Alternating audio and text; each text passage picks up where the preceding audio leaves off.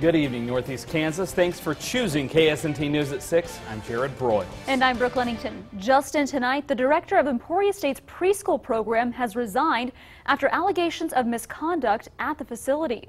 Keely Persinger stepped down this week. State child abuse investigators are investigating members of her staff. Specifics of the accusations are not being released. Heather Caswell is taking over as interim director.